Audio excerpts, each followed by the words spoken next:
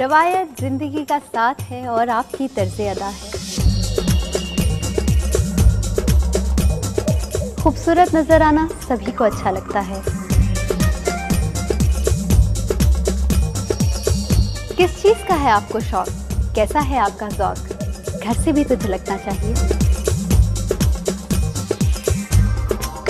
जिन्हें हम मानते हैं, उनसे भी जानते हैं उनकी रवायत। हम शेयर कर रहे हैं आपके साथ खूबसूरत रवायात।